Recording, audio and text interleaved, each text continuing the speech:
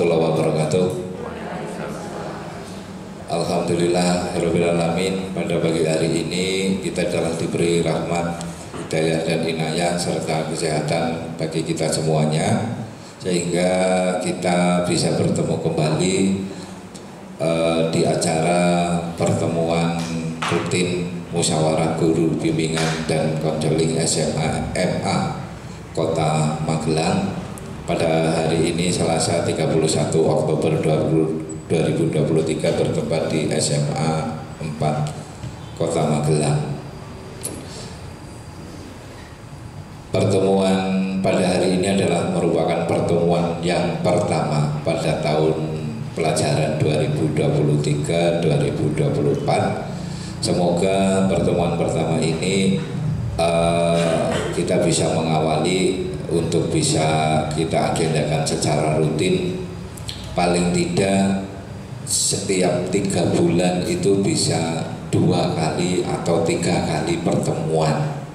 Karena itu merupakan salah satu tuntutan dari eh, eh kinerja kita yang nanti kita bisa untuk sebagai bukti untuk kegiatan eh, tentang keorganisasian.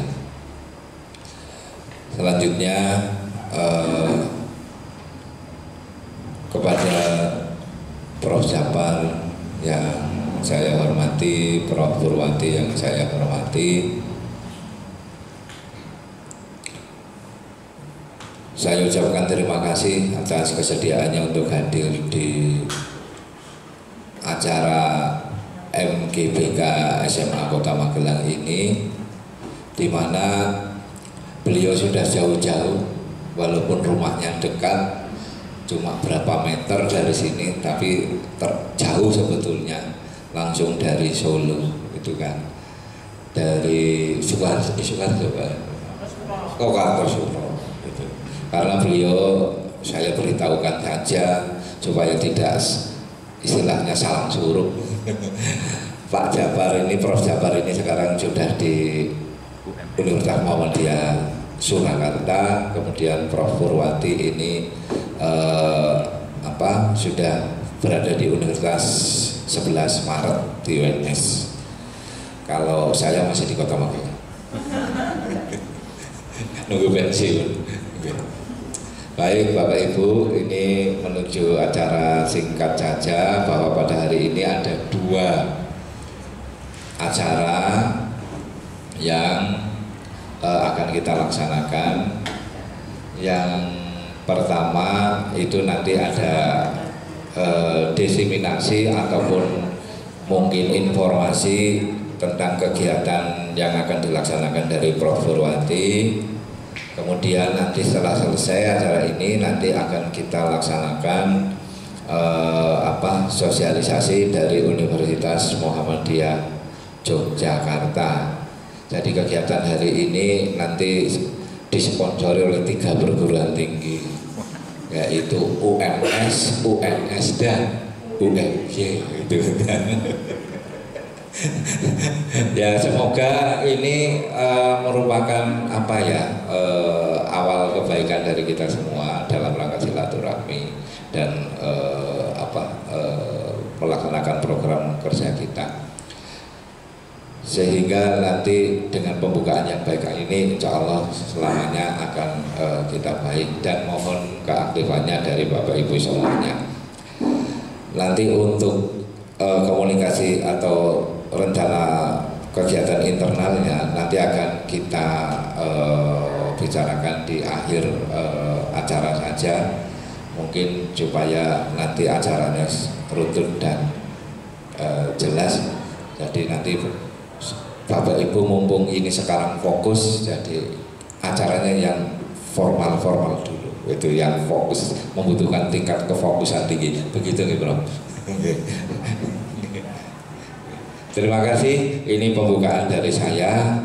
Uh, nanti akan dilanjutkan dari Prof. Purwati atau Prof. Sabar, monggo. Terima kasih dari saya ada kurangnya mohon maaf acara pembukaan ini saya tutup dulu dan akan dilanjutkan ke Prof. Purwati. Terima kasih. Monggo. Bismillahirrahmanirrahim. Assalamualaikum warahmatullahi wabarakatuh. Eh, Selamat eh, pagi dan salam sejahtera untuk kita. Alhamdulillah, alhamdulillahilladzi arsala rasulahu bil huda wa dinil haqq liyudhhirahu 'ala dini kulli wa kafa billahi. Asyhadu an la ilaha illallah wa asyhadu anna Muhammadan abduhu wa rasuluh la nabiyya ba'da. Ibu-ibu dan bapak-bapak sekalian, eh, sebelum saya mengantarkan eh, desiminasi hasil penelitian kami, perlu saya eh, perjelas gitu ya eh, bahwa saya tahu akhir tahun 2021 diminta dekan Fakultas Psikologi UMS untuk membantu mendirikan atau membuka program S3 Doktor Psikologi karena di UMS kekurangan satu guru besar gitu ya. Sebenarnya prosesnya sangat singkat gitu ya karena begitu saya minta lolos butuh dari rektor UMM langsung diberi hari itu juga gitu dan eh, pada 1 April 2022 saya sudah resmi menjadi dosen di UMS dan pada bulan Juli program S3 diajukan ulang setelah empat tahun gagal gitu ya. Kemudian eh, sudah disetujui oleh menteri dan tahun ini sudah mulai menerima mahasiswa baru. Angkatan pertamanya hanya tujuh karena profesornya dua maksimal hanya membimbing tiga gitu. Nah kemudian eh, tidak mungkin istri saya saya tinggal di Magelang. Kemudian istri saya mengikuti saya tapi pindahnya tidak di UMS karena pengalaman satu atap itu banyak hal yang tidak mengenakan gitu. Dalam pengembangan diri maksudnya gitu ya. Akhirnya istri pindah ke Fakultas Psikologi Universitas 11 Maret sejak 1 Februari 2022 eh 23 gitu ya. prosesnya hanya satu minggu di Jakarta Ibu bapak sekalian, eh, nanti kalau ada waktu sebenarnya saya lebih suka berbicara tentang konselingnya termasuk tindak lanjut dari skala moral yang eh, kita kembangkan ini. Gitu. Ibu bapak sekalian bahwa tim peneliti kami ketuanya itu Bu Purwati, saya anggota dan anggota keduanya itu Ibu Leni Komaria kebetulan sekarang sedang S3 di UNER sehingga tidak bisa datang. Uh, penelitian ini multi years tiga tahun uh, dana hibah dari Kementerian Pendidikan. Nah, pada tahun awal kita uh, melakukan kajian teori cukup panjang kajian teorinya, lalu uh, kita uh, lakukan uh, fokus group discussion melibatkan beberapa guru di sekitar Magelang kemudian di sekitar Jawa Tengah meluas ke Jawa Tengah dan di luar Jawa. Kemudian setelah hasil fokus group discussion banyak masukan-masukan konsep itu kemudian kita olah kembali. Kemudian kita lanjutkan kembali lagi melakukan fokus group discussion setelah uh, kita formulakan kemudian disusunlah atau dikembangkan uh, instrumen pengukuran uh, dan yang kita pakai adalah skala model penskalaan.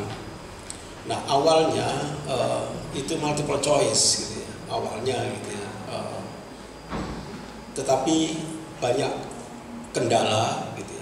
Karena uh, seperti kita ketahui bahwa kelemahan dari pengukuran-pengukuran dengan multiple choice itu banyak error variannya, kesa aspek kesalahan pengukurannya gitu ya. akibat dari gitu ya, proses administrasi tesnya itu sendiri gitu. Nah kemudian akhirnya uh, kita mengembangkan skala ini kebetulan mirip gitu ya dengan BPS. Jadi nanti uh, ada 225 item yang kita kembangkan. Gitu. Uh, setiap item itu berupa pasangan pernyataan sehingga dalam hal ini tidak ada jawaban yang salah semua jawaban benar nanti menggambarkan gitu kondisi uh, testi atau responden atau yang mengisi skala itu gitu ya. Nah, harapannya dengan memilih dua pernyataan itu uh, siswa itu atau remaja lebih memilih yang sesuai dengan keadaan dirinya gitu. Karena ini kalau dua-duanya seneng dia yang lebih seneng, tapi kalau uh, dia tidak suka itu yang tidak kesukaannya itu paling ringan. Dan ini setiap orang akan berbeda gitu. Nah, lalu ada pertanyaan pada saat uh, kami desiminasi, sosialisasi dan desiminasi gitu ya itu bagaimana uh, mengontrol, melakukan checking apakah responden ini benar-benar menjawab sesuai dengan keadaan dirinya maka uh, kita uh, gunakan sebagaimana prinsip EPPS bahwa nanti ada beberapa pasang item. Ada 15 pasangan. Nah kalau dia nanti uh, menjawab misalnya item nomor satu dia memilih alternatif A tapi di pasangannya di nomor lain gitu dia memilih B berarti dia tidak konsisten. Dan kalau nanti ketidak konsistennya itu lebih dari atau kurang dari 9 berarti uh, analisis hasil tesnya tidak perlu dilakukan karena terjadi inkonsistensi. Berarti ada apa gitu ya dengan diri yang bersangkutan. Nah kalau uh, nanti akses bagi siswa nanti hanya sampai mengerjakan dan tahu profil e, moralitas mereka.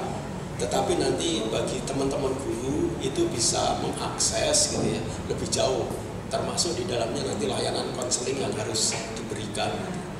Jadi e, ini sudah dirancang e, seperti itu dan nanti yang kita uji cobakan ini basisnya itu adalah web. Memang kita punya kendala ketika uh, desiminasi atau uji coba di daerah yang rawan internet itu tidak bisa maksimal.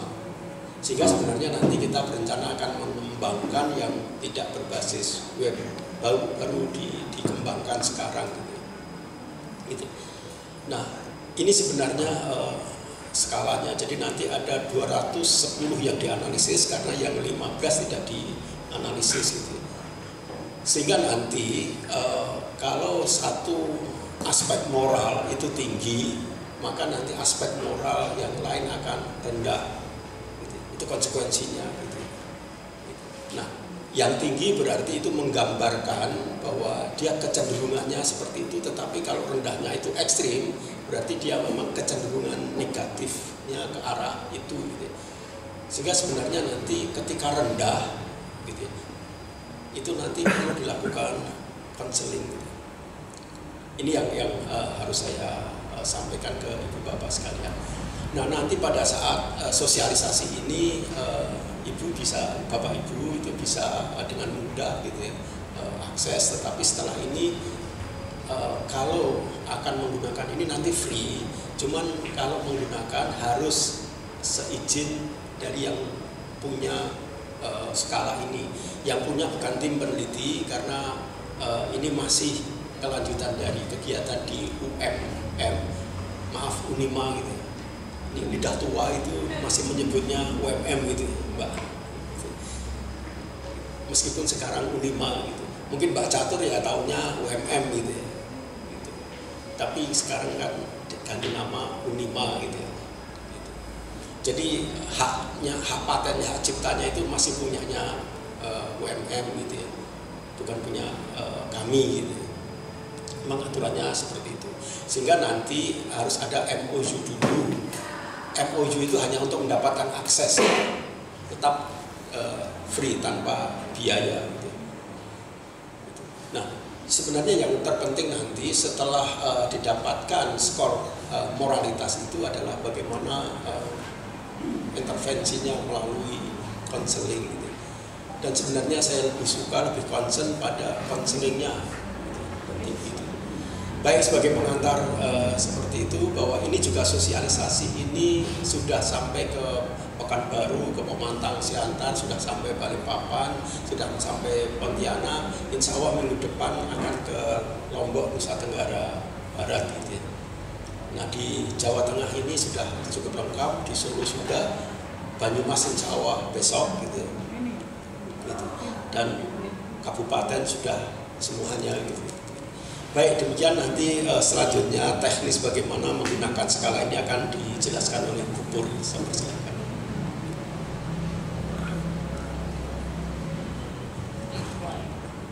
Bismillahirrahmanirrahim. Assalamualaikum warahmatullahi wabarakatuh. Waalaikumsalam. Alhamdulillahirrahmanirrahim. Eh, pada pagi hari ini menjelang siang kita bisa bersama-sama hadir di ruangan ini di ruangan aula kelas ya, kelas di SMA mungkin tanpa alangan suatu apa pun. Semata karena anugerah dan rahmat dari Allah SWT. Yang sama-sama kita hormati Bapak Karmono. Dan yang saya hormati saya banggakan semuanya yang hadir anggota MGPK maupun pengurus SMA Kota Magelang Pertama kami apresiasi dan ucapan terima kasih pada Pak Darmono yang telah memberikan kesempatan pada kami untuk sekedar berbagi ilmu sharing terkait dengan apa yang kami miliki. Yang kedua, eh, kami mohon izin eh, bahwa pada kesempatan pagi hari ini kami akan melakukan semacam eh, estimasi atau penularan apa yang sudah kami lakukan seperti yang sudah disampaikan oleh Pak Jabar bahwa penelitian ini sudah sebenarnya sudah tiga tahun atau lebih malah ya tahun 2019 saya usulkan tapi karena tiba-tiba pandemi padahal itu sudah di ACC uh, anggaran sudah keluar, eh tiba-tiba ada pandemi, akhirnya nggak jadi. Kan tahun 2020 itu pandemi, nah kami tidak jadi melakukan kegiatan, akhirnya di pending sampai tahun 2021, 22 sampai 2023. Alhamdulillah ini sudah selesai, uh, di mana pada tahun ketiga ini sudah kami dapat beberapa hal yaitu sertifikasi, haki, paten terkait dengan skala yang kami kembangkan yaitu skala moral. Kami bertiga yang sudah disampaikan oleh Pak Sabar, saya selaku ketua, anggota Pak Sabar dan Bu Laili mengembangkan suatu skala. Mengapa skala itu dikembangkan? Karena memang kita lihat bersama-sama bahwa selama ini yang khusus terkait dengan skala atau instrumen moral itu belum ada. Yang ada secara umum, misalnya eh, yang kita buat, yang kita miliki ya sebagai seorang konselor, ada AUM, ada DCM, ada AP, APB apa? APB apa itu? APDB AKPD dan sebagainya. Itu milik kita tetapi yang belum fokus pada uh, moral. Sedangkan kalau kita mau mengetahui moral atau kepribadian adanya di uh, instrumen terstandar. Itu bukan hak kita haknya psikolog begitu. Jadi uh, pertama itu latar belakangnya. Yang kedua kita sebagai seorang orang tua atau pendidik atau konselor atau guru BK kita tahu yang di lapangan di sana itu di luar sana itu banyak perilaku-perilaku moral anak-anak kita mulai dari SMP maupun SMA dalam tanda kutip itu mengalami suatu dekadensi moral gitu dan akhir-akhir ini ini tersebar di TikTok itu kemarin itu ya TikTok TikTok itu. Jadi orang tua menuntut seorang guru siapa namanya? Pak Akbar itu siapa itu? Nah itu e, dituntut gara-gara seorang guru itu menegur siswanya gara-gara tidak sholat kan gitu ya. Nah itu kan sebetulnya sholat itu merupakan salah satu aspek religiusitas yang kami angkat di uh, instrumen itu. Nah apa jadinya uh, anaknya itu lapor pada orang tua orang tua menuntut guru dituntut berapa 50 juta sampai berapa tahun itu. Akhirnya dituntut uh, keputusannya belum tapi akhirnya turun turun turun dituntut berapa itu? Tiga bulan penjara dan juta kan begitu ya? Nah, itu kayaknya seperti itu. Nah, banyak lagi. Ada yang eh, anak-anak uh, itu ada lagi di mana itu? Yang menantang gurunya buka baju itu Kalimantan. Yang kecil Kalimantan ya Pak. Nah itu kan perilaku seperti itu kan dalam tanda kutip perilaku yang tidak kita inginkan sebetulnya gitu. Tapi menantang guru, guru diajak gelut itu gara-gara ditegur karena tidak berpakaian rapi, hanya itu saja terus akhirnya menata guru buka gitu ya bajunya ya terus di uh, akhirnya dilerai atau di uh, apa diamankan tapi akhirnya anak itu di uh, dari sekolah gitu nah itu banyak hal yang kejadian-kejadian yang semakin ke sini tentunya semakin memprihatinkan kita akhirnya kami angkat dari uh, konsep yang sudah sampaikan oleh Pak Jafar bahwa skala ini adalah skala moral untuk mengetahui moralitas yang terdiri dari 15 eh 15 15 aspek kalau tidak salah itu ya. Pak Ibu Bapak di situ sudah saya ungkap di merah-merah itu ada 15 aspek perkembangan. Jadi 15 aspek itu aspek perkembangan moral ya. 15 aspek itu bisa eh, terungkap semua, terungkap semua di instrumen ini. Ada kesadaran moral, ada mengetahui nilai-nilai moral, ada penalaran moral, ada pengambilan keputusan, ada yang kelima memahami diri sendiri. Yang keenam hati nurani, penghargaan diri, empati, mencintai kebaikan dan kontrol diri. Yang kesembilan itu kerendahan hati, kompetensi moral, kehendak, kebiasaan dan religiusitas. Jadi ada 15 aspek moral yang kami ungkap tentunya uh, ini nilai-nilai moralitas, nilai-nilai religiusitas yang kami angkat di dalam skala ini adalah nilai-nilai secara umum, general ya general nilai umum tidak mengacu pada salah satu uh, agama tetapi semua agama yang kita yang ada di Indonesia jadi nilai-nilai uh, umum secara umum ya generalitas begitu general.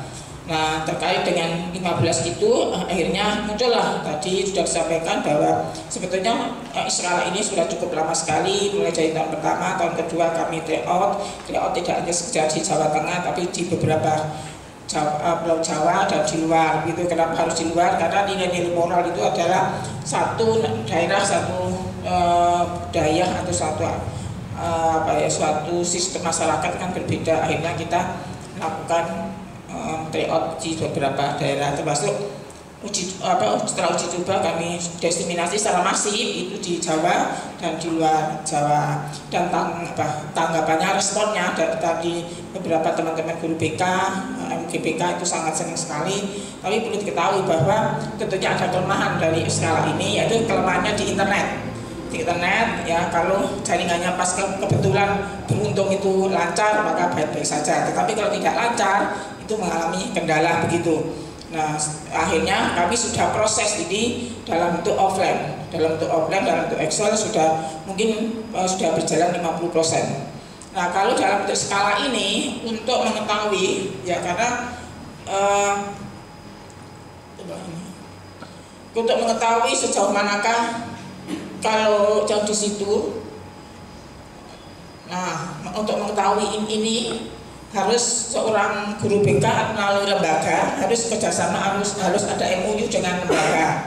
Ya kan harus ada lembaga uh, antar lembaga melalui melakukan MUU dan itu uh, free ya tanpa berbayar tidak berbayar. Namun itu kan mengalami kesulitan harus MUU segala begitu nah baru bisa mendapatkan akun eh, bisa mendapatkan akun dan setelah itu bisa mengakses apa yang yang ada pada diri siswa yang sudah dilakukan siswa. Begitu. Nah kalau tidak eh, tidak apa tidak melakukan MUU maka tidak mendapatkan akun dan tentunya tidak bisa mengakses secara mendalam apa yang harus yang dilakukan telah dilakukan oleh siswa. Begitu. Ini 225 kalau dilakukan secara uh, apa ya betul-betul fokus bisa dikerjakan oleh siswa hanya 20 menit. Karena siswa itu hanya memilih apa yang ada pada pikiran dan perasaan mereka begitu. Dan pada dasarnya 15 aspek itu mencakup aspek kognitif, afektif dan psikomotor. Tiga aspek itu terungkap semua pada skala moral ini. Nah, jadi uh, 15 aspek itu terdiri dari tiga aspek itu dan itu dikerjakan oleh siswa tidak tanpa uh, ada yang terlewati sama sekali. Jadi semua harus dikerjakan. Kalau tidak dikerjakan malah kita kita tidak bisa untuk mendeteksi uh, kondisi 15 aspek moral pada remaja tersebut coba dilanjutkan. Nah itu, itu hasilnya seperti itu. Nanti seorang uh, guru BK bisa kalau sudah selesai itu bisa download yang bisa cetak dari masing-masing individu yang ada di uh, yang kebetulan itu menjadi testi. Dan selanjutnya setelah itu baru uh, diperoleh diperoleh tabel. Nah tabelnya seperti ini.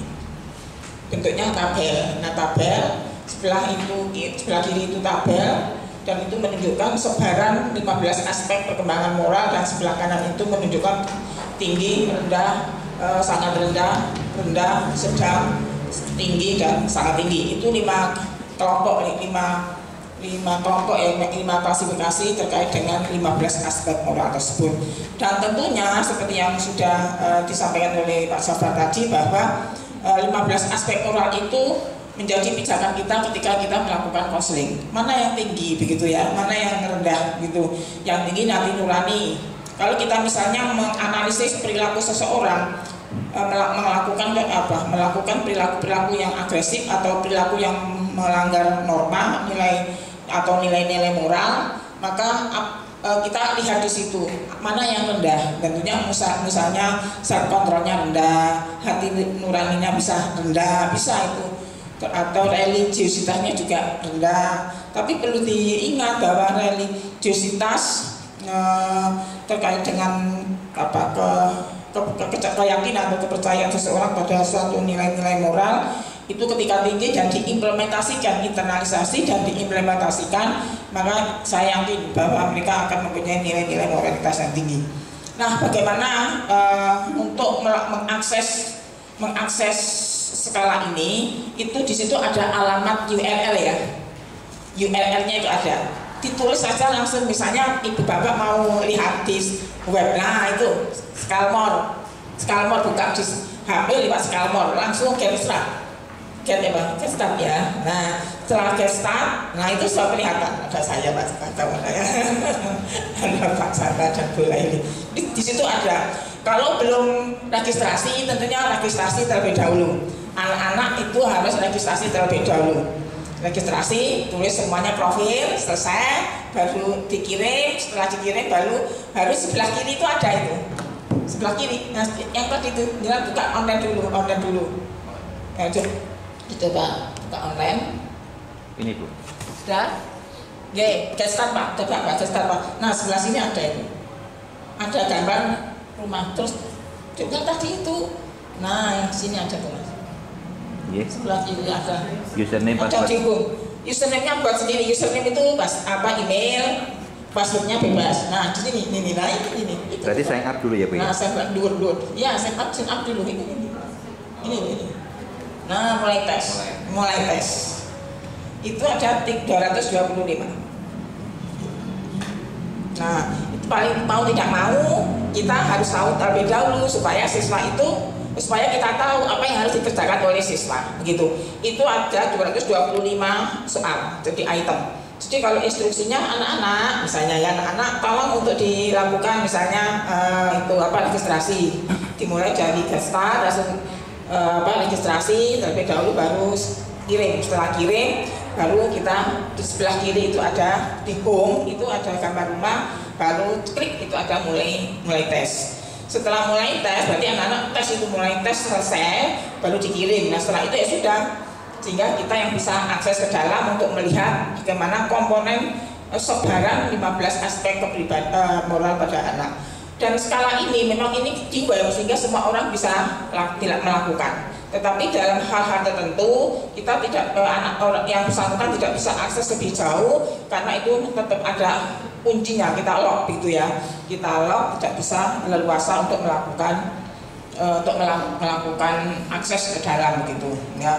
Sehingga kalau seorang guru BK kalau ini mau diterapkan pada anak-anak seorang guru BK sebelum offline itu jadi maka harus apa eh, MUU terlebih dahulu dengan Unima karena ini milik Unima karena saya kan kerjanya dulu di Unima sehingga saya dan Sapan dalam hal ini ke sini itu dalam rangka untuk e, mendesimilasi sosialisasi secara masif terkait dengan hasil yang sudah kami peroleh begitu. Kalau dari pihak kementerian memang sukanya pada aplikasi skala gitu ya karena lebih efektif, lebih efisien. Tetapi tidak untuk kemungkinan efisien, efektif. Tapi kalau kita melihat di apa di daerah yang jauh di sana secara geografis tidak memungkinkan sehingga uh, internet mungkin tidak bisa lancar ya.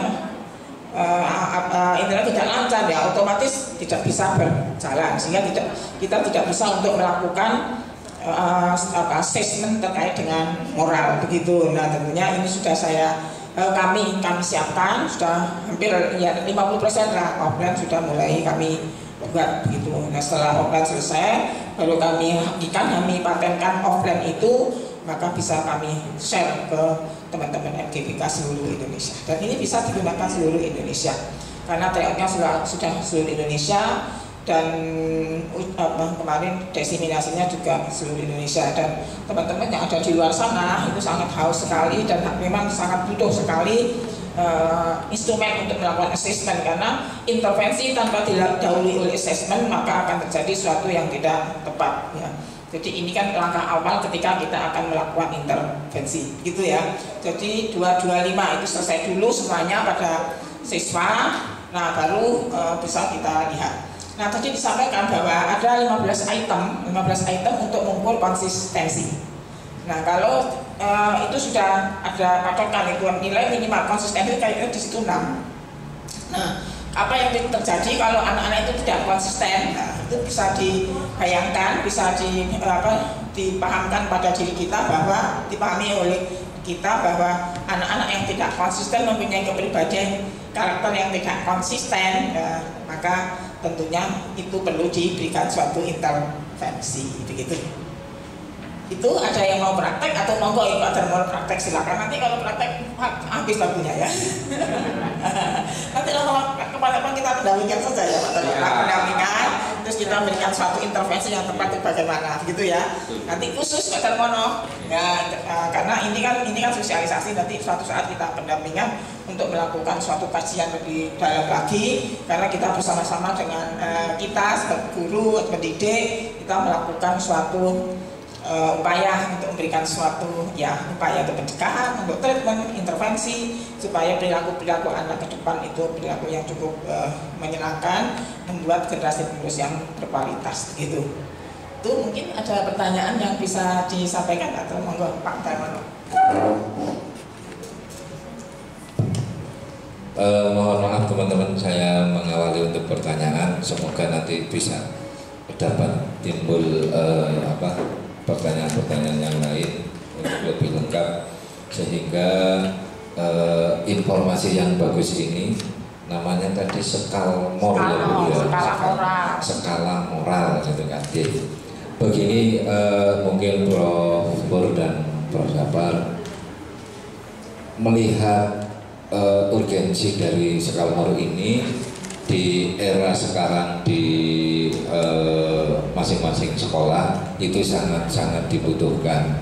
Karena kami merasakan sendiri dengan adanya regulasi tentang penerimaan siswa baru yang berubah seperti itu uh, sehingga muncul berbagai uh, apa masalah uh, termasuk masalah moral. Di samping dengan adanya regulasi itu PPDB juga susahnya membendung untuk eh, pengaruh eh, teknologi informasi. Jadi ini luar biasa eh, kalau menurut saya kebermanfaatannya. Di samping itu di sisi lain ada hal yang positif tentang perilaku akademik yang di apa dipengaruhi oleh teknologi digital itu yaitu dengan adanya uh, artificial intelligence atau intelijen buatan yang sekarang marak dengan menggunakan chat GPT. Nah, kalau saya pahami anak-anak itu sudah sangat cerdas seperti itu tapi tidak membentuk moral untuk berpola pikir penyelesaian suatu kasus. Dia hanya instan langsung ditanyakan langsung menyelesaikan nah mudah-mudahan dengan skala moral ini nanti bisa menjembatani atau bisa menyelesaikan memberikan solusi tentang itu bolehlah menggunakan alat teknologi tetapi dengan baik ataupun mungkin dengan Eh, gejala-gejala ataupun permasalahan moral lain yang muncul sekarang itu sangat-sangat luar biasa. Nah, sehingga setelah dianalisis ini, mestinya kan yang dipentingkan nanti kan tindak lanjut dari hasil itu, ya. gitu kan Bu. Nah, ini yang kami mohon nanti minta bimbingan dan saran gitu bagi uh, apa untuk menindaklanjuti hasil itu itu satu secara uh, aplikatif hasil ini kemudian secara teknis nanti apakah eh, sekalmur ini bisa dilakukan secara bebas oleh kami ataukah tadi disampaikan harus ada MOU. Nah, ataukah mungkin mohon maaf ini terus terang aja apakah kami harus melakukan berbayar dengan menggunakan itu karena itu ada HPT-nya gitu kan. Nah, sehingga wajar saja kalau itu itu kan susunannya itu kan sulit Pak itu menurut Pak dari kajian-kajian yang luar biasa. Seandainya misalkan ini dampaknya bagus, sebetulnya mungkin berbayar pun nggak ada masalah gitu kan? Karena di dalam eh, apa anggaran itu kan sebetulnya ada rekening di sana yang menyebutkan bahwa konsultasi psikologis sah. Dan itu kita guru BK mengharapkan bisa membuat program kerja dan memanfaatkan rekening untuk anggaran itu gitu ya. Sehingga nanti kita tidak hanya sebagai penonton aja di sekolah tetapi kita sebagai pelaku. Nah, kita di ada anggaran dari pemerintah dan ada rekeningnya kita mengajukan program dan itu dibutuhkan di saat era sekarang gitu nah saya kira itu ibu e, pertanyaannya dan mungkin e, bisa mohon penjelasan. Terima kasih. Terima kasih sebelum Pak Safar. Eh, perlu saya sampaikan, skala moral ini memang tim peneliti yang membuat dan ini eh, hak ciptanya memang di, eh, di kami dan itu melembaga begitu. Nah, ini dalam bentuk web. Siapa pun boleh, tetapi ketika eh, di luar sana tidak melakukan MUU, maka itu eh, tetap kami, kami lock, tidak bisa sebebas eh, yang diharapkan beliau-beliau mereka-mereka. Nah, tadi sampai e, ditanyakan apakah ini berbayar atau tidak. Sudah saya, saya sampaikan tadi tidak berbayar. Cuman perlu e, MOU karena MOU itu untuk mendapatkan akun. Kalau tidak mendapatkan akun dan masing-masing lembaga akunnya beda-beda. Kalau tidak mendapatkan akun, saya khawatir kan begitu ya. E, akun itu semua diberikan pada orang kan nanti berbayar.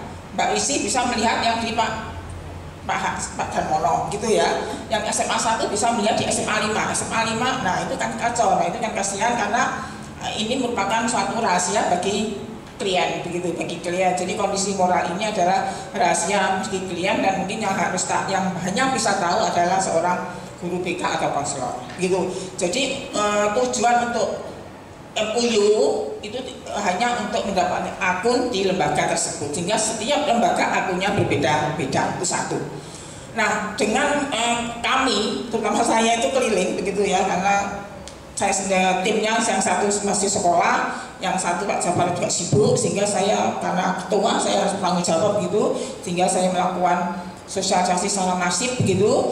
Itu ada memang ada kelemahan dari web itu, tapi nggak apa-apa. Sementara memang kami web sesuai dengan yang diminta oleh Kemenristek. Nah ini sudah kami lakukan buat dalam proses, nama, uh, bentuknya itu offline offline dan itu mungkin lebih lebih bagus dari ini tapi offline yaitu dalam bentuk Excel. Nah kalau sudah Excel nanti bisa kami sebar ke mana-mana itu siapa pun boleh menggunakan seperti AUM, DCA dan sebagainya kan bebas. Cuman, nah cuman perlu diketahui seorang guru BK harus lebih tahu bagaimana kalau kondisi anak seperti ini kondisinya 15 aspek itu. Berarti kan harus belajar untuk mendalami masing-masing individu terkait dengan moralitas dan karakter sebelum melakukan intervensi. Begitu. Ya jadi kita bisa memberikan intervensi yang tepat dengan menggunakan salah satu instrumen ini untuk melakukan assessment tentunya kita harus mempunyai bekal ilmu pengetahuan yang cukup begitu. Nah, bagaimana caranya? Ya tentunya tentunya saya, ibu bapak sudah mempunyai sertifikat kompetensi saya, saya yakin berkompeten begitu ya. Dan suatu saat kami siap untuk melakukan pendampingan begitu ya pendampingan untuk melakukan bagaimana untuk melakukan intervensi-intervensi karena yang yang pakarnya intervensi itu Pak Jafar pendekatan. Itu mempunyai suatu pendekatan yang bagus yang bisa diterapkan oleh masing, uh, oleh ibu bapak semua. Apa yang harus kita lakukan begitu.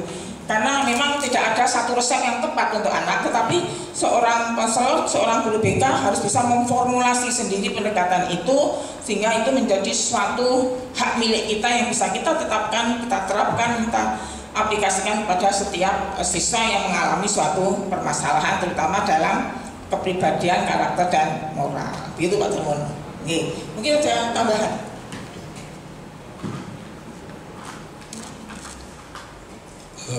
baik, saya tambahkan sebelum saya menjelaskan tentang dan intervensinya mengenai AI gitu ya. Mohon hati-hati dengan AI karena pertama eh, bahasa Indonesia belum masuk di big datanya AI gitu ya. Itu satu.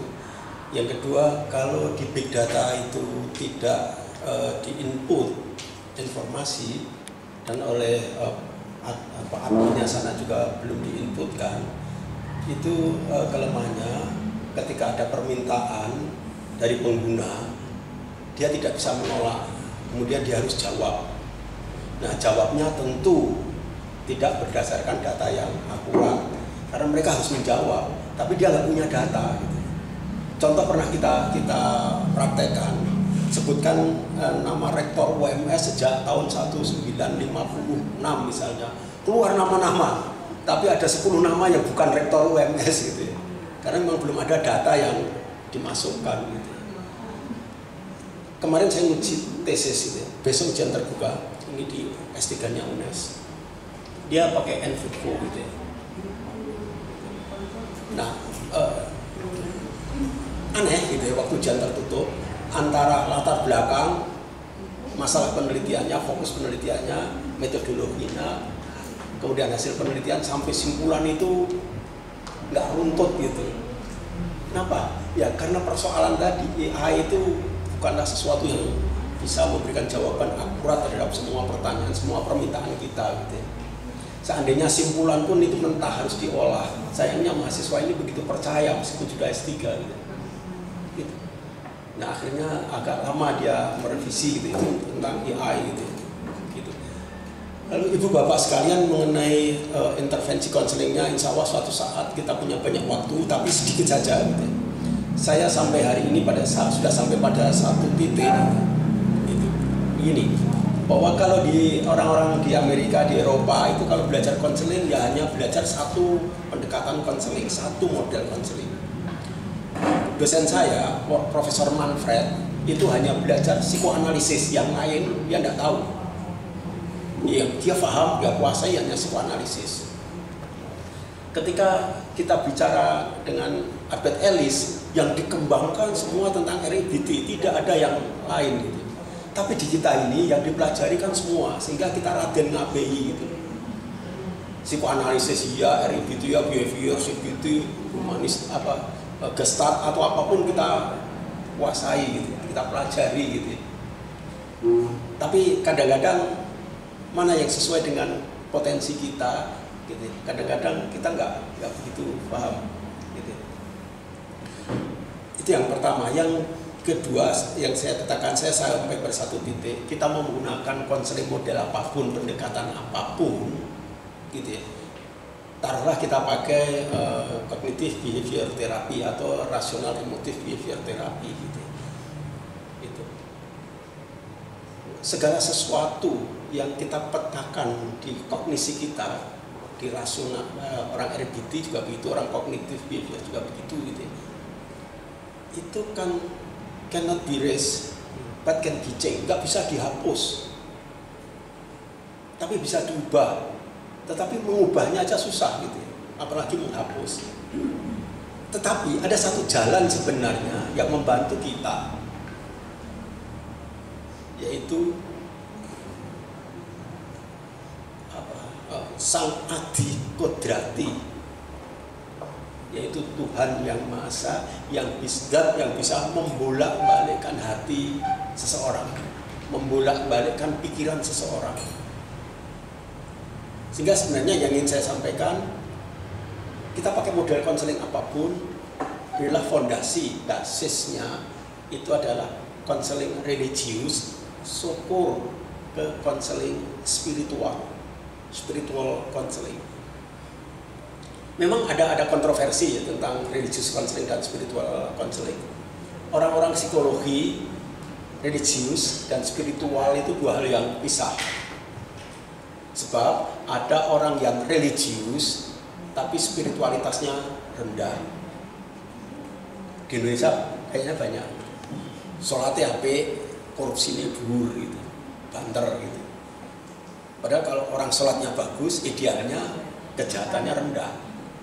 Tapi kita sholat apa korupsi ini sampai membayar pak pengacara saja satu tahunnya untuk sang pengacara ini rekreasi aja habis 7 miliar gitu.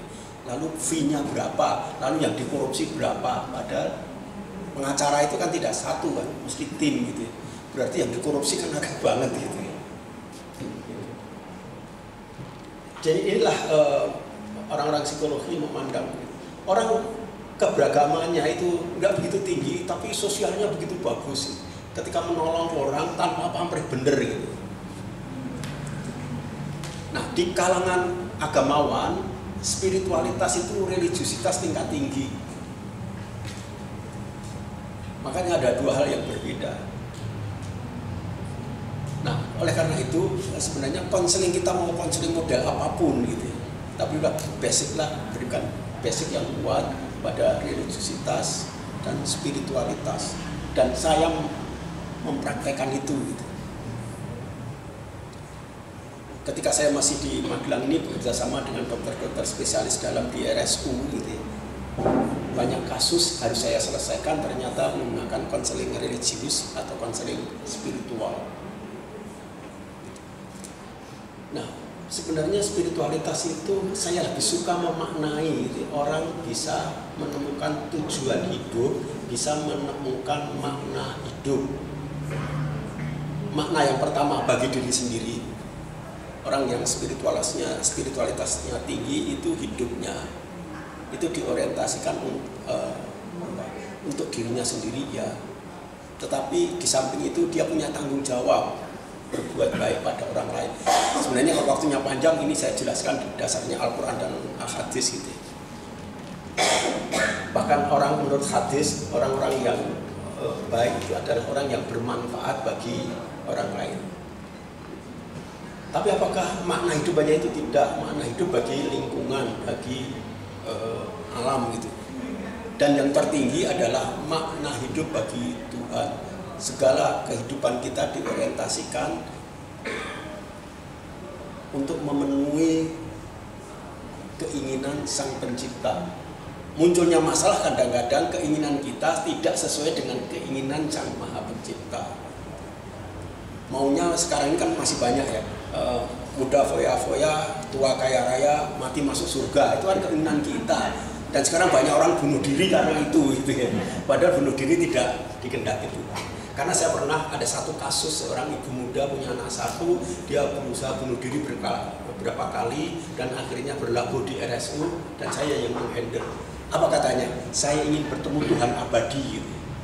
Kemudian saya katakan, berapa kali ibu mencoba gagal? Apakah kalau gagal ini berarti Tuhan sudah mengizinkan, mengendaki saudara bertemu secara abadi? Akhirnya dia sampai satu titik dia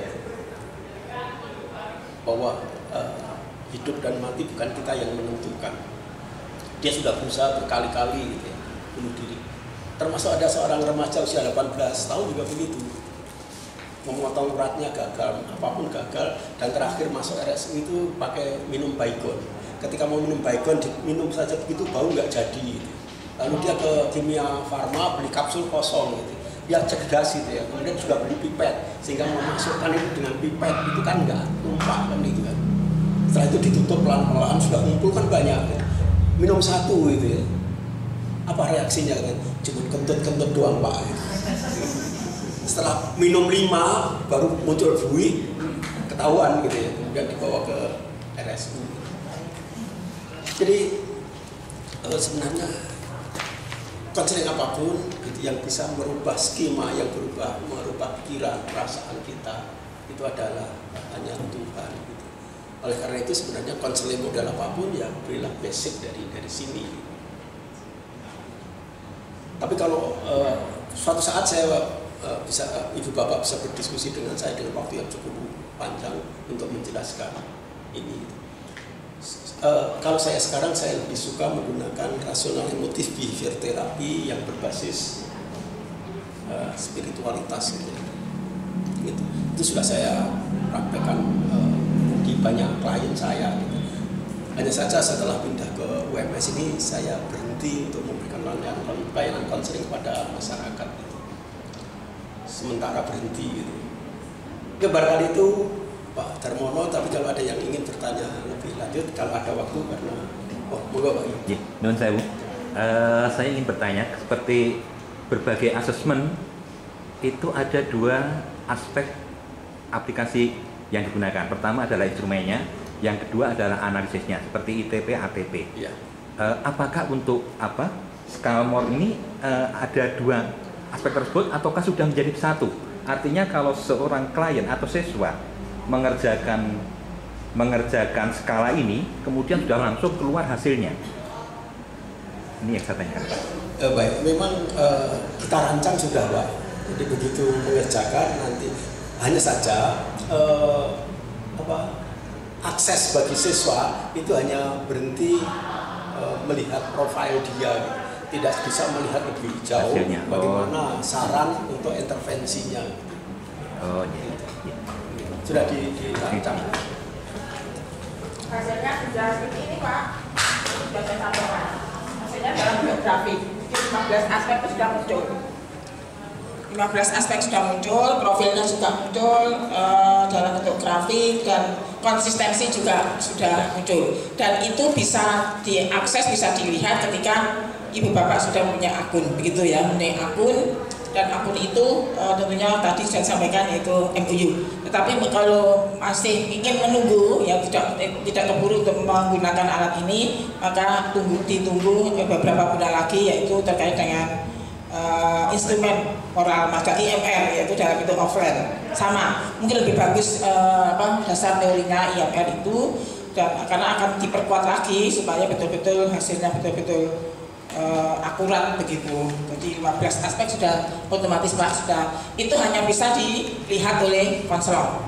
Si siswa tidak bisa melihat karena siswa itu tugasnya hanya apa mengisi ya sudah itu aja begitu hanya profil data hasilnya seperti, eh, seperti ini gitu Pak. Tapi untuk lebih jauh lagi yang yang bisa melihat ya adalah si konselor. Tentunya konselor itu dalam rangka untuk memberikan intervensi begitu Pak.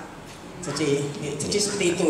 Dan tentunya hasilnya itu kan tidak bisa hasil itu eh, apa yang harus dilakukan, eh, hasilnya seperti ini, apa yang harus dilakukan oleh seorang konselor.